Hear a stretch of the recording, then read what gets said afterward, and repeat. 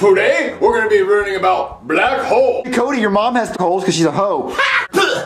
Joseph, did you just spit gum in my hair? Yeah, my bad, dude. I didn't mean to do that. Hey, Joseph, have you heard from Cody? No, dude. Not since he went to the clinic earlier. I hope he's okay. I am so sorry, Cody. You know what? Just, just shave it off. I don't even care anymore. Oh, I've been waiting for you to say it, dude. All right, shave it, shave it. and done. Oh, you are one ugly freak, if I do say so myself. Who's that? Hello? Is Cody here? We were tracking him. We put a microchip in him at the vet. Brussels sprouts. No, nah, we ain't playing. Cody's right here. But Junior, what are my parents doing here? Cody, what happened to your face? And why didn't you eat your Brussels sprouts last night?